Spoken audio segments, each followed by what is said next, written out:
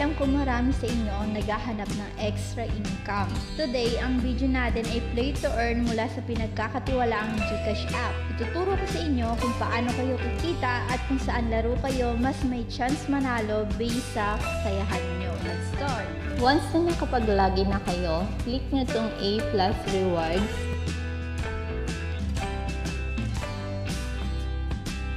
Then, close nyo lang itong nag-pop out. Scroll nyo lang pataas. Then, select nyo itong cash prices. Tap nyo yung mismong play now.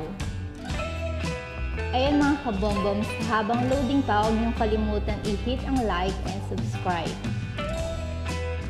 Then here makikita nyo yung top tournaments. Okay, dito sa Crazy Balls, Total price dito, 50,000. Then, makikita niyo yung kasalukuyang bilang ng players and kung kailan mag -e end Top wheels, 15,000 yung possible price na pwedeng makuha ng top 1. Lap Lap, 8,000. Then, here itong rock music, 6,350. Okay, sasampulan ko kayo, maglalaro ako ng rock music. Then, here, ayan, makikita nyo, naglo-load na yung coma. Dito, kailangan masapuno lang Ayan, natalo ako. Katulad ko, pwede ulit kayo maglaro ulit. Pero for now, titinan muna natin yung ranking. Click nyo to.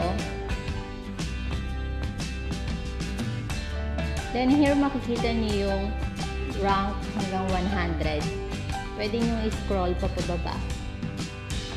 Then makikita nyo din yung pangalan nyo. So, ito ako. Remind ko lang sa inyo guys na bago kayo makapaglaro dito, meron kayong babayadan. Okay, close na natin to para maipakita ko sa inyo kung magkano ba yung babayadan nyo.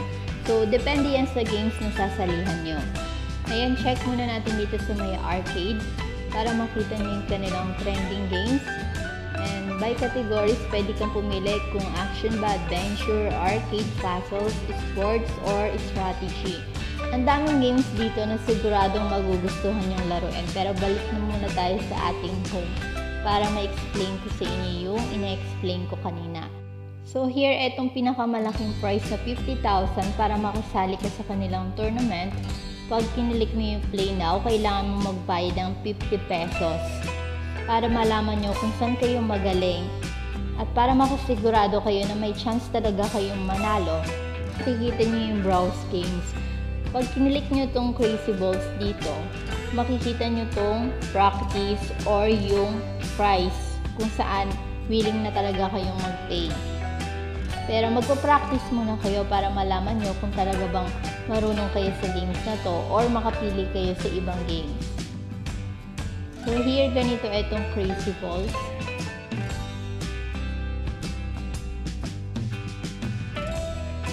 And ganun lang din yung gagawin nyo sa ibang games.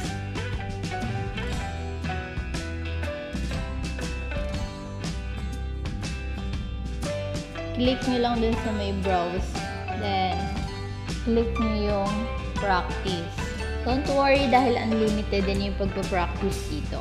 Then here makikita nyo din na itong top wheels ay 25 pesos para makapaglaro ka at makasali ka sa may tournament.